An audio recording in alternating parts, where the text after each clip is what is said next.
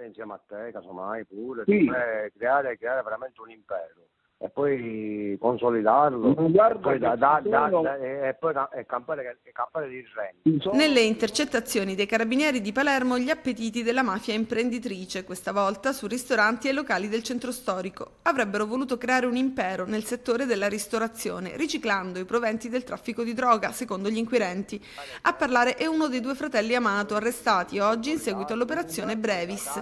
I miliardi che ci sono, rispondeva Giuseppe Calvaruso, finito in manette a Pasqua al rientro dal Brasile. È il presunto reggente del mandamento di Pagliarelli, erede di Settimo Mineo, il padrino a capo dell'ultima cupola di Cosa Nostra dopo la morte di Riina. Con Mineo, Calvaruso era stato a pranzo a Ferragosto del 2017 nel locale di Giuseppe Amato in piazza Bologni. Ora il ristorante Carlo V è stato sequestrato.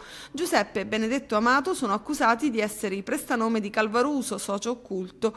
Giuseppe Amato avrebbe voluto aprire un'altra attività alle Canarie. Con gli arresti è scattato anche un maxi sequestro da 2 milioni e mezzo di euro tra beni e conti correnti.